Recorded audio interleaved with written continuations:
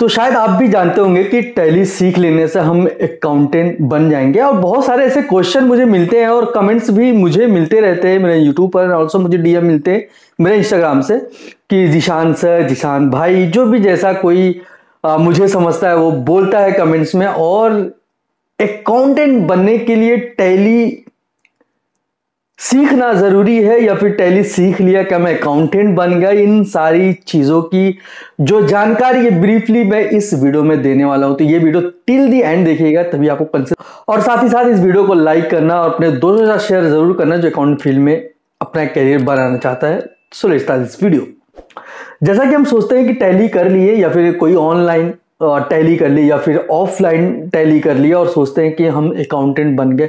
और बहुत सारे ऐसे क्वेश्चन मुझे मिलते हैं कि क्या टैली सीख लेने से मैं अकाउंटेंट बन जाऊँगा? क्या टैली सीख लेने से मुझे जॉब मिल सकती है? ये सारी चीज़ों का आज मैं बहुत ही ब्रीफली से समझाने वाला हूँ एक्चुअली क्या टैली सीख लेने से क्या अकाउंट बन सकते हैं? क्या टैली सीख लेने से जॉब मिल सकते हैं? ऐसे बहुत सारे लोगों का कंफ्यूजन है। जी हाँ मैं भी यही सोचता था जब मैं अकाउंटिंग फ़ील्ड में सोच रहा था आने को। और क्या टैली सीख लेने से सिर्फ़ अकाउंटेंट बन सकते हैं?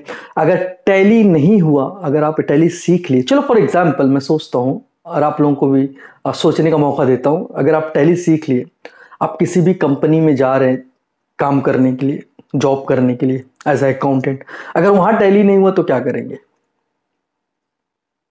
ज़ाहिर सी बात है कि आप टैली सीखें तो सोच रहे होंगे कि हर कंपनी में टैली ही यूज़ होता है।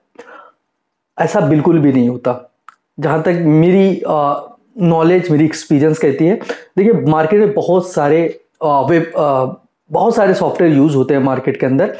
और ये मैं ज़रूर कह सकता हूँ, इतना तो मैं दावे के साथ कह सकता हूँ कि टैली बहुत फ्रेंडली सॉफ्टवेयर है बहुत लोग यूज़ करते हैं as compare to other software right तो ये नो डाउट कि टैली हर जगह भी नहीं यूज़ होता, लेकिन बहुत सारी जगह यूज़ होता है। तो मेरा कहने का सेंस ये है कि टैली सीख लेने से क्या अकाउंटेंट बन सकते हैं? देखिए, टैली लाइक एक सॉफ्टवेयर है लाइक अ मोबाइल मीन्स ज़ाहिर सी बात है कि हम मोबाइल चलाना हमें नहीं आता, जब हम उसको यूज़ करते हैं तो सारी चीज़ें ऑटोमेटिक आ जाती है यूज़ करना।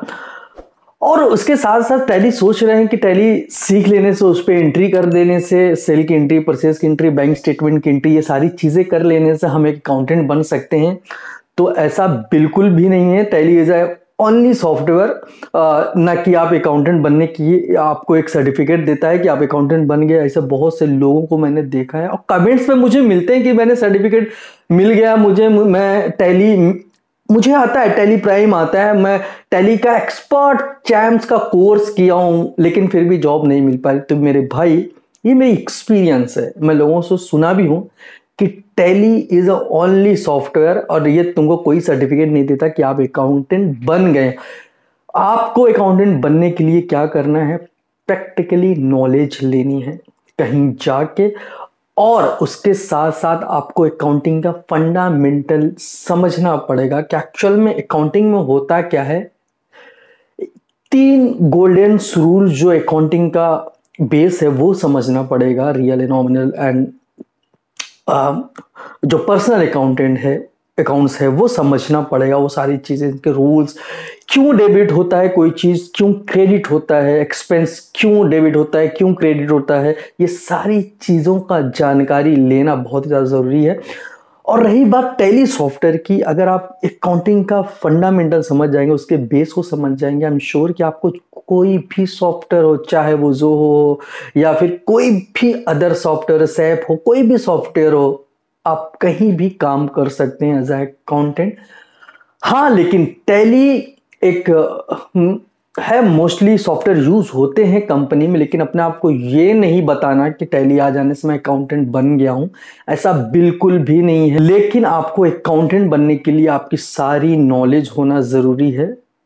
लाइक like, सारे बेसिक नॉलेज होना उसके फंडामेंटल्स रूल्स ये सारे जानकारी आपको फाइनलाइज करना आना चाहिए। कैसे फाइनलाइज करते हैं अकाउंट्स को? क्लोजिंग को कैसे फाइनलाइज करते हैं? ये सारी चीज़ों की जानकारी होनी चाहिए।